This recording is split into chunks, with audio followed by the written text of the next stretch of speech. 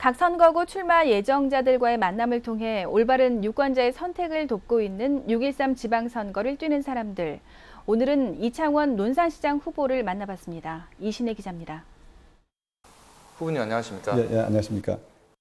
예, 바쁘신 와중에도 이렇게 인터뷰에 응해 주셔서 감사드립니다. 예, 예. 예. 먼저 이번 지방선거에서 논산시장 어, 여야 후보군이 모두 확정되면서 예. 어, 선거를 준비하는 어, 후보들의 발걸음도 빨라지고 있습니다. 예, 예. 어, 후보께서도 철저한 준비를 하고 계실 것 같은데요. 예. 어, 이번 선거 어떻게 준비하고 계신가요? 예, 예. 저는 근본에 얼마 전, 한 보름쯤 전부터 어, 바른미래당의 논산기령 금산의 지역위원장을 맡았습니다. 맡으면서 제가 논산시장에 출마를 하였습니다. 저희 이러한 준비는 최근에 갑작스럽게 이루어졌지만은 제 마음속으로는 항상 논산시를 어떻게 발전시킬지를 제일 늘 마음속에 고민하고 있다가 제가 이번에 또다시 논산시장에 출마하게 됐습니다. 후보께서는 국세청 근무 경력도 있고 그다음에 예. 최근까지는 어, 세계사로 이제 예. 회계사로 이제 활동한 경험도 있는데요. 어, 아무래도 실물 경제의 발달은. 장점이 어, 있을 것 같습니다.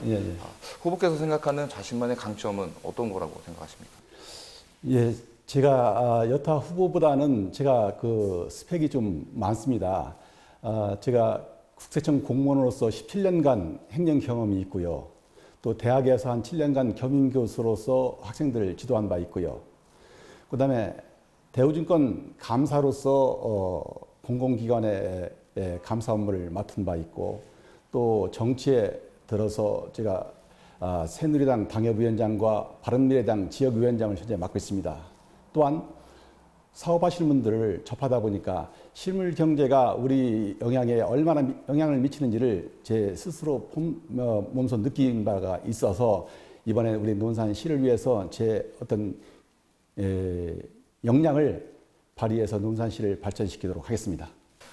후보께서 내- 내세운 선거 슬로건이 어, 논산의 바른 미래를 위한 올바른 선택입니다. 어, 선거 전략으로 어떻게 보면 변화를 강조한 것으로 이제 이해되는데요. 어, 이렇게 변화를 외치는 선거 전략은 어, 그동안의 논산 시정을 평가한 것에 이제 바탕으로 혹시 확정하신 건지. 에, 민선 6기 논산 시장은 5기와 더불어서 황명선 시장께서 8년 동안 열심히 하셨습니다. 그렇지만 저는 어, 세무회계사로서 또는 그 감사인으로서 볼 때에 예산을 집행하는 차원에서 여러 가지 제 눈높이에 맞지 않는 부분이 많이 있어서 그런 점을 좀 지적도 하고 싶고요.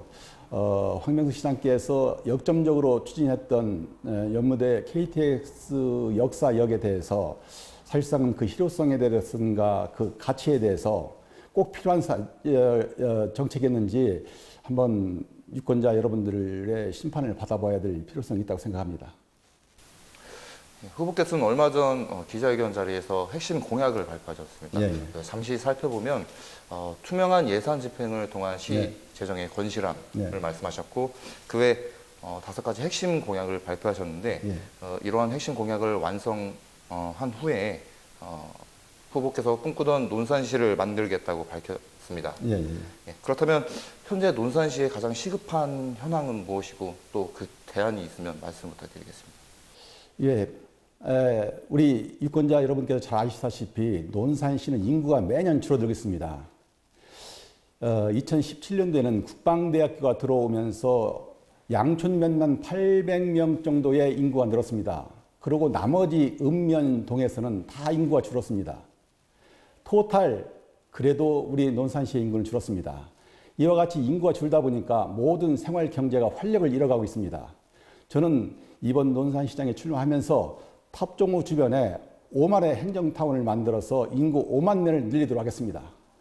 그래야만 그래야만 우리 논산시의 그제 전통시장이라든지 에, 인구가 늘어남으로 해서 세 수입이라든지 이런 부분이 에, 저희 중점적인 공약으로 어, 제가 그 채택을 하고 유권자 여러분께 선보이도록 하겠습니다. 예, 후보님 그럼 마지막으로 네. 시청자와 논산 시민분들께 한 말씀 부탁드립니다. 논산 시민 여러분, 저는 이번 논산 시장에 출마하면서 탑종호 주변에 5만의 신도시를 만들어서 논산시 경제를 살리고 인구를 증가시킴으로 해가지고 어, 노- 우리 이 시정을 4년 동안 펼쳐나가도록 했습니다. 논산 에, 논산시를 위해서 탑정호 주변에 5만의 신도시가 형성됨으로 해가지고 우리는 세종시가 행정 수도로 이전됨에 따라서 거기에 딸린 유관기관, 관공서, 공공기관들을 우리는 미리 이 논산시 탑정호 주변에 에, 유치를 해서 우리는 미리 준비해야 되고 또한 에, 계룡대라든지 삼군본부 또는 훈련소 등에서 퇴직한 공무원들이 우리 논산시에서 거주할 수 있도록 그런 환경을 만들고 또 대전에서 출퇴근하시는 우리 그 논산 시의 유관기관들의 어떤 직장인들을 우리 환경 좋은 우리 노- 탑정호 주변에서 거주할 수 있도록 이렇게 만들고 또한 탑정호 주변에 숙박시설, 호텔, 연수원, 기타 아, 회의장들을 만들어서 명실상부한 우리나라에서 찾기 어려운 천혜의 자원인 탑종호를 제가 아, 우리의 보물로 생각하고 논산시를 발전, 어, 발전시킬 수 있는 그런 획기적인 음, 기회라고 저는 생각하면서 이번 논산시장에 출마하면서 제가 4년 임기 동안에 이것을 완성하도록 하겠습니다. 지켜봐 주십시오. 제가 꼭 해내겠습니다. 예, 후보님 오늘 바쁘신 가운데 이렇게 인터뷰에 응해주셔서 다시 한번 감사드립니다. 예, 예, 예. 고맙습니다. 오늘 말씀 감사합니다. 예, 예, 고맙습니다. 예.